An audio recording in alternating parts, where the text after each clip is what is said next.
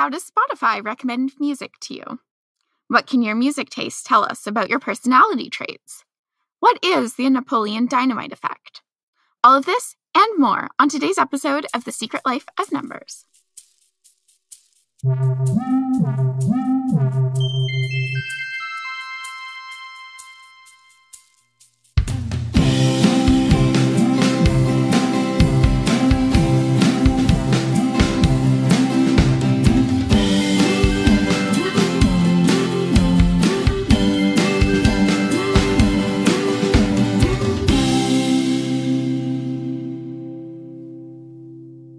Welcome to the Secret Life of Numbers podcast, the podcast where we dissect everyday numbers and statistics to find the stories behind them. Each episode, we take a number or statistic and break it down. We will tell you where it comes from and what it means for you. Along the way, hopefully, we will inspire you to think about the numbers in your own life. I'm Lavanya, your data scientist on call. I'll be breaking down the numbers.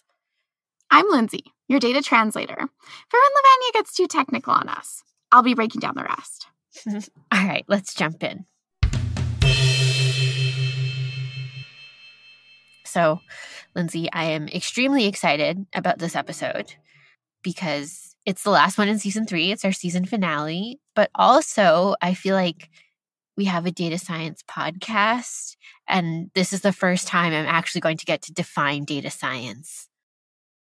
I don't know how we reached this point without tossing out that definition. And I don't think it really hit us until we started like preparing the outline for this episode of what do we want to talk about. And we were like, oh, we should probably define data science. yeah. So I guess if it's not clear, what we're talking about is how music is recommended to you. I'm going to use Spotify as like a case study, but this is truly a very classic data science problem.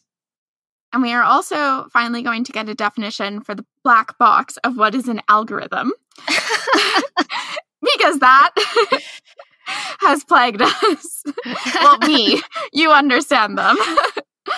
Let's first begin with the definition of data science because I, I can't contain myself. Hit us with it. I'm so excited.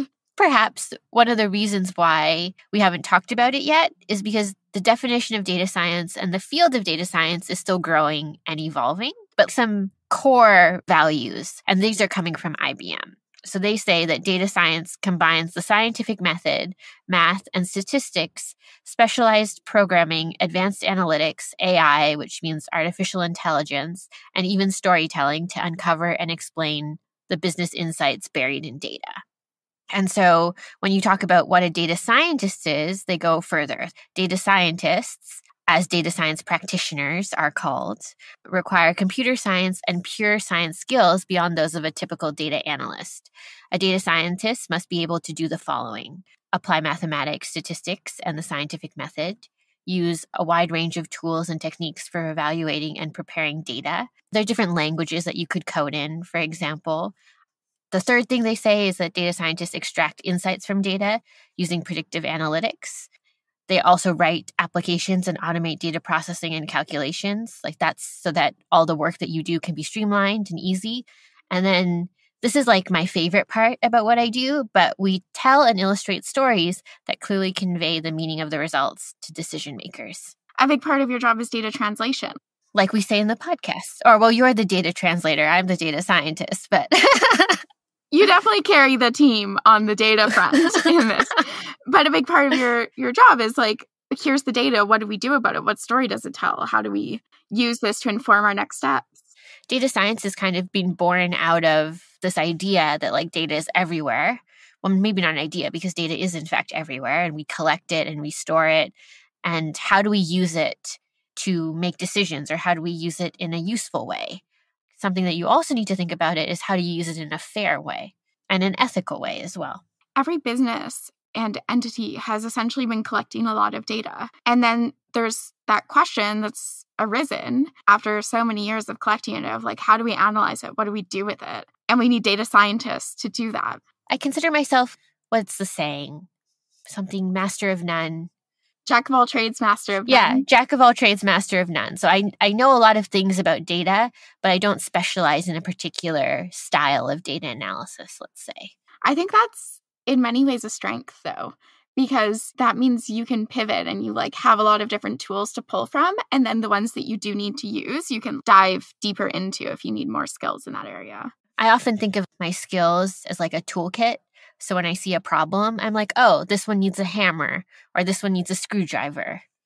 okay now i think the part we've all been waiting for what is an algorithm Sure. So because to me it's been this black box of you put information in you get information out i have trouble visualizing in my mind's eye what it actually is what it actually is, okay. I pulled a definition of an algorithm from the Cambridge Dictionary for you. thank you You're very welcome. So they say that an algorithm is a set of mathematical instructions or rules that, especially if given to a computer, will help to calculate an answer to a problem. i think this still is at my level of like black box Okay. info in info out All right. So let's think about it. Let's say we're doing like a simple, like you're fitting a line to data, like a linear regression. Mm. You want to see if it's positive or negatively correlated. That fitting process, when you fit a line, you're reducing what we call the residuals so that the distance from the points to the line is minimized. That process of reducing the residuals is an algorithm. Oh, okay. So it doesn't have to be as complex as the proprietary algorithms that a company like Spotify would have for their music recommendations. I feel like Spotify is using a, a really large amount of algorithms. They're using some simple things, but they're also using some very advanced techniques as well. They're quite diverse. if you're ever confused about what an algorithm is, I think an easy parallel would be like think about it like a recipe. Your inputs would be the ingredients, the steps and the recipe would be the steps that you're training your model to, and then the output or the result is the food. Interesting. I think that's a nice way of visualizing it because there are some steps in, let's say, baking a cake that you can see, but you can't really see. Like you can't see the molecules changing under the heat of the oven. Hmm. Unless you're Miss Frizzle and you can like go into the cake. Yeah. Miss Frizzle, yes.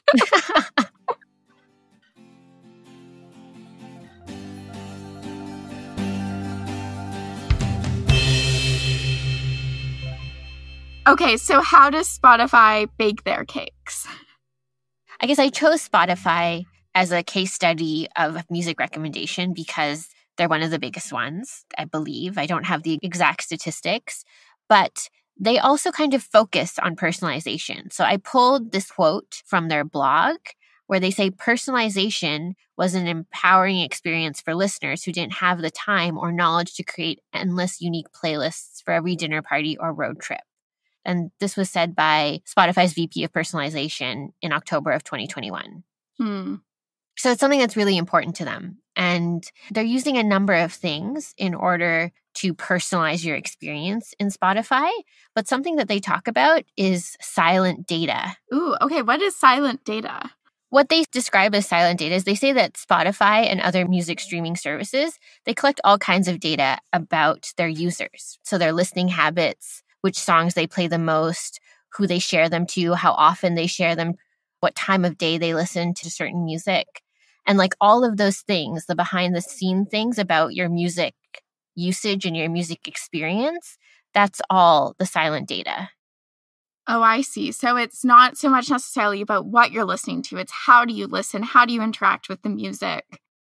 So I should say that something that I very much appreciate about Spotify is all of their research, or um, I, I, can't, I don't know if all of it, but a lot of it is published mm-hmm. online. It's published in journals. They work with universities. So it's very easy to go in and find it and also to understand it because it's written at a reading level once they post it on their blog for like someone who doesn't have training in data science to understand. So, in many cases, they're trying to understand the types of people who listen to certain types of music and what characteristics those individuals have. I have a small concern. Mm-hmm.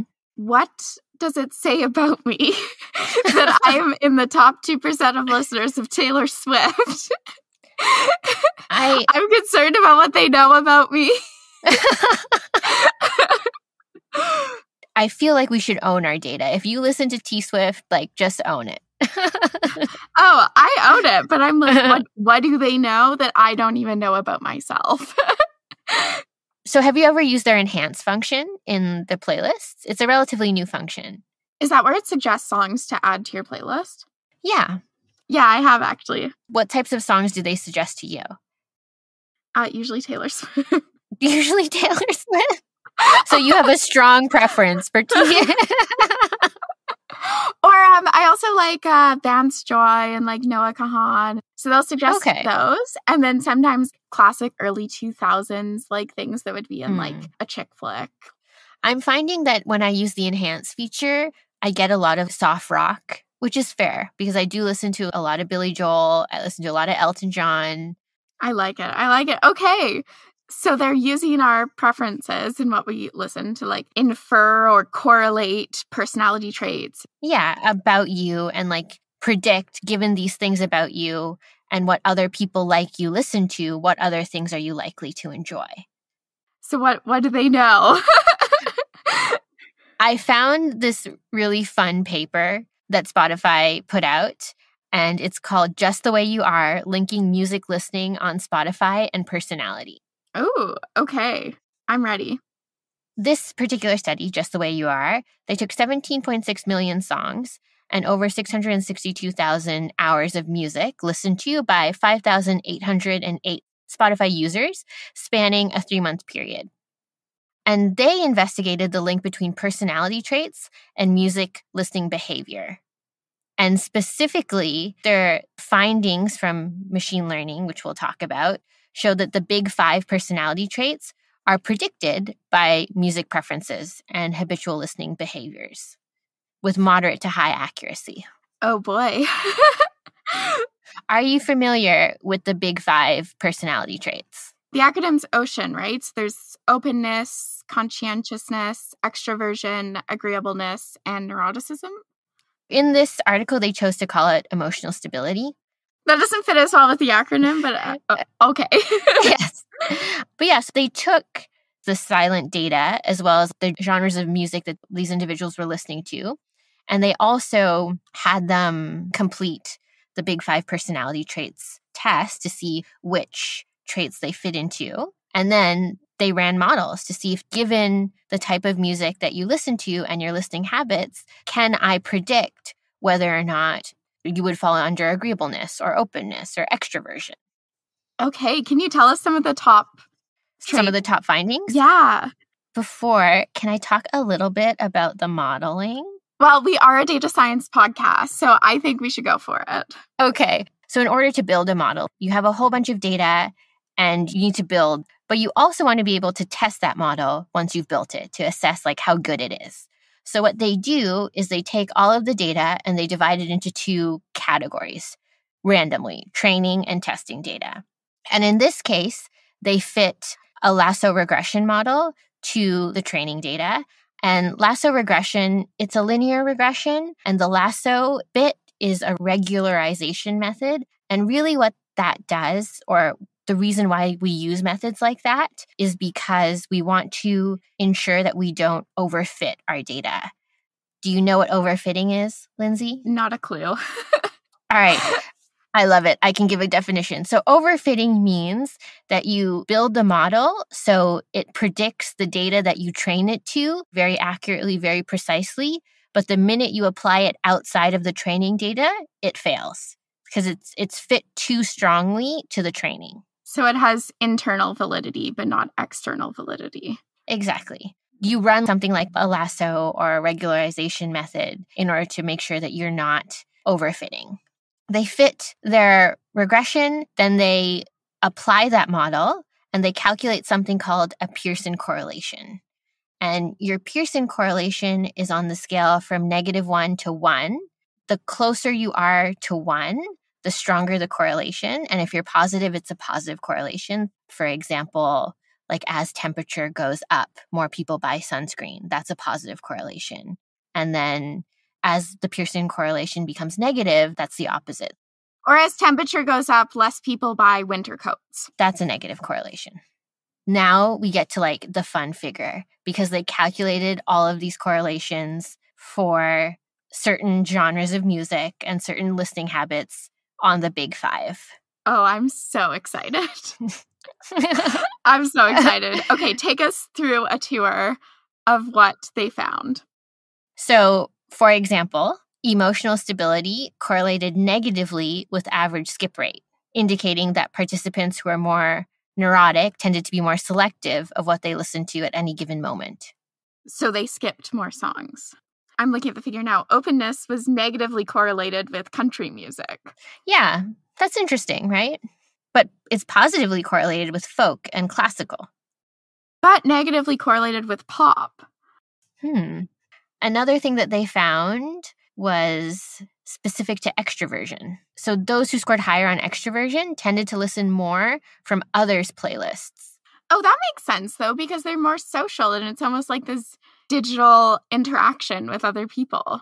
Yeah. I think it's also interesting that extroversion is negatively correlated with streaming from a desktop because because think about it if you're introverted you can like stream from your desktop because you're probably at home. yeah. Whereas those extroverts are out and about, so they're streaming on their phones. Overall, the regression results show that emotional stability and conscientiousness are the most predictable for music listening behaviors compared to the other big five results. And there are a lot of things that might contribute to that because people who score on these personality traits might use music streaming in different ways we don't have time to go through each correlation, but I find it very interesting. I guess perhaps we could do our own personality test, look at our big five, and then look at these graphs to see if we agree with the correlations. Maybe a follow up episode.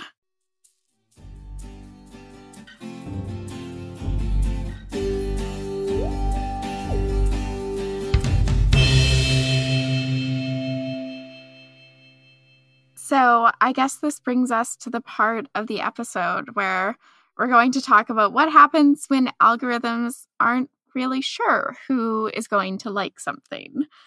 And to illustrate this point, I'm going to walk us through a case study similar to Spotify, but this time it's from Netflix. And it's this phenomenon that's been dubbed the Napoleon Dynamite effect. After the movie? After the movie, yes. Netflix has this algorithm or recommendation software that they use to help their suggestions. And this is going back to when Netflix was, you know, somewhere that mails you DVDs. the interesting thing about it is they have this software called Cinematch and it analyzes how you view movies and recommends other things you might like. For example, like if you like this romantic comedy, you might like that one. Yeah, you might like its sequel. But Netflix started to realize that there were a few places where they were hitting roadblocks. They had trouble improving the algorithm. They had movies that they couldn't recommend to people or like nobody wanted to watch? Sure. I think the problem was they needed to make the algorithm more sophisticated. There was stuff that it was missing or that they were recommending that people didn't actually want to watch and vice versa. Okay. That people might have wanted to watch that wasn't being recommended because that you know, factor or variable maybe wasn't being taken into account. Yeah, there's like a gap in their modeling, perhaps. Exactly. Around 2007, Netflix launched the Netflix Prize, which was a $1 million prize that they would give to anyone who could improve Cinematch's predictions to be 10% more accurate. Okay. $1 million is a ton of money. But for Netflix, this is a good business deal because that is cheaper than the money you would make if you improved the algorithm. So the competition started in October 2006. And by 2008, no one had fixed the problem yet. Hmm. So they had 30,000 hackers worldwide working on it. There was this Netflix prize webpage, and they instantly calculated the percent improvement and they even had like a leaderboard and everything. Kind of like a video game in a sense. Some people were software engineers or programmers or, you know, in that space already. And then some people were kind of hobbyists that were like, I'll take a crack at it for a million dollars. You know, Netflix had data sets and like listings and customer ratings on like a five star scale that they distributed to help people teach their models so people would be looking at patterns, they would be predicting customer behavior. And there's some really cute stories in this New York Times article about it, about like people whose kids were helping them thinking about like okay if someone likes the first two matrix movies are they going to think the third one is hot trash or are they going to love it? And so it's kind of interesting parents were brainstorming with their kids and you know one even had one of their kids helping with the calculus and the algebra. There's some very cute stories about the people working on it they started to realize, though, with the competitors that the progress was stalling before they hit that 10% improvement. And one of the things that stood in their way was the movie Napoleon Dynamite. For anyone who's not familiar with the film, it's this indie comedy. It was released in 2004. And it's one of those movies that's like kind of hit this cult following versus cult hatred they started to realize that it was really challenging to determine kind of like what Spotify was doing who likes Napoleon Dynamite and why and who doesn't. And so they were starting to have a problem that like that was accountable for about 15% of what they were trying to improve. Just one singular movie. There were a few others that were also challenging. basically what ended up happening with Napoleon Dynamite is usually like the predictions are within eight tenths of a star of what people will actually end up rating them. But with Napoleon Dynamite, they were off by an average of 1.2 stars for their recommendations. That's pretty far. Especially on like three stars versus one. So they were starting to have trouble with it. Like half the people loved it, half the people hated it, and they didn't really know why.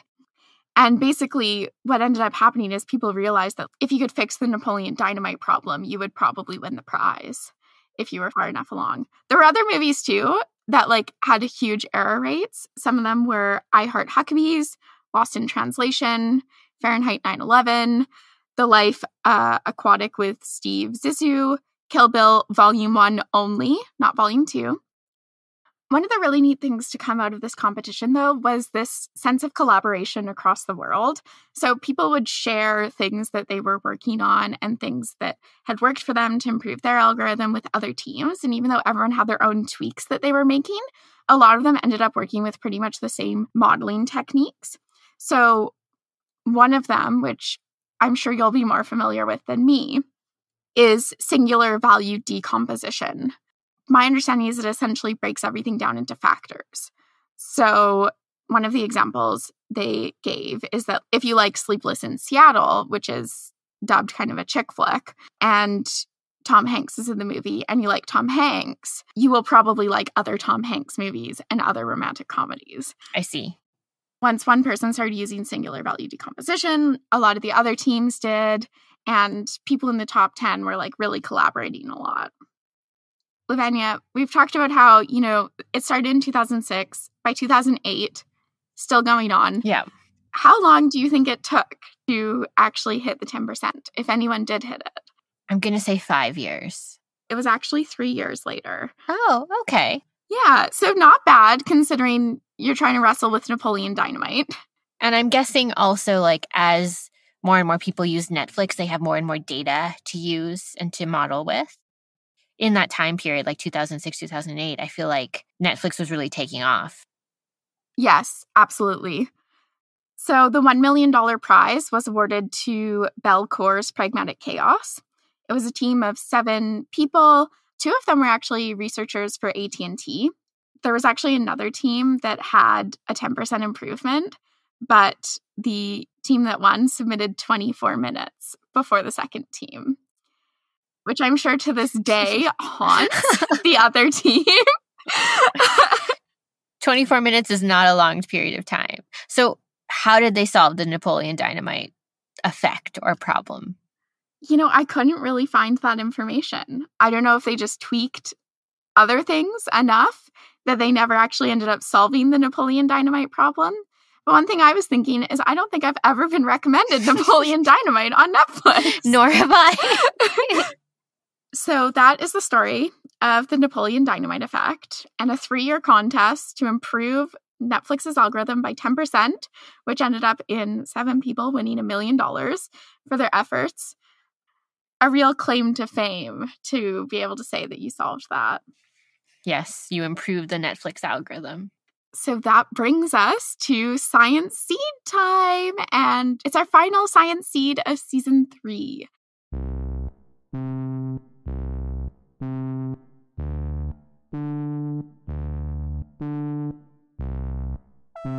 For those of you who aren't familiar with Science Seeds, each episode we like to give our listeners something to think about a science nugget to help you think more critically about the science, statistics, and numbers that you hear every day. So, do you want to take us away, Lavanya?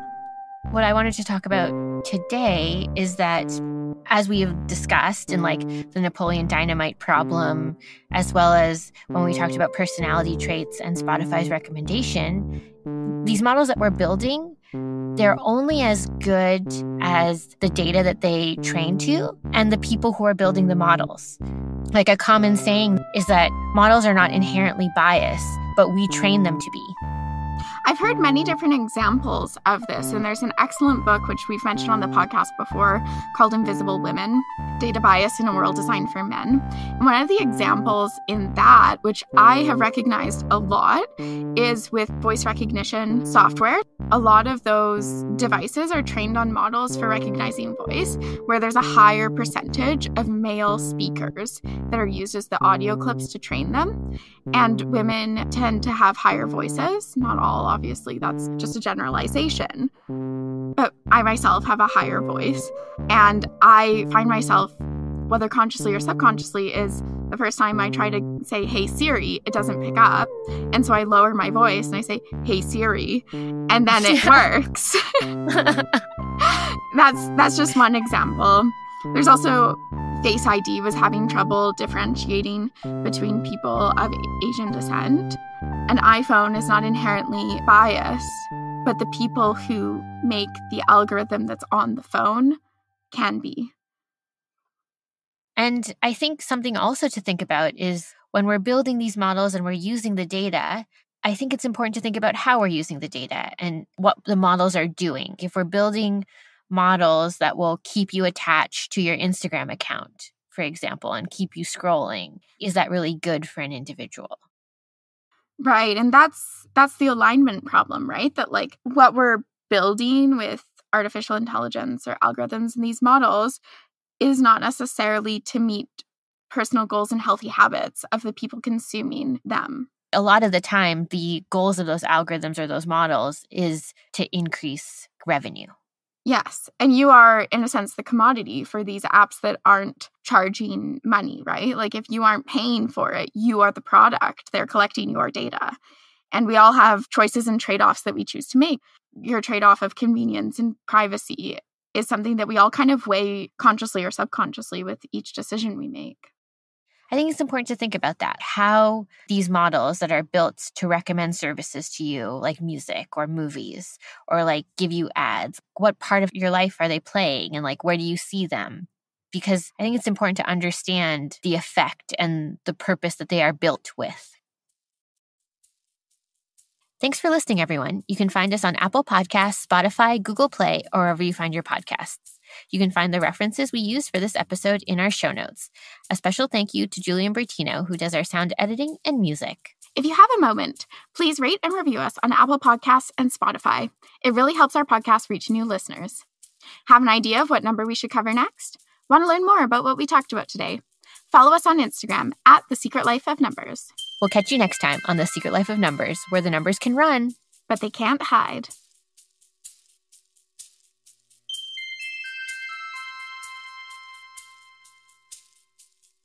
Mm-hmm.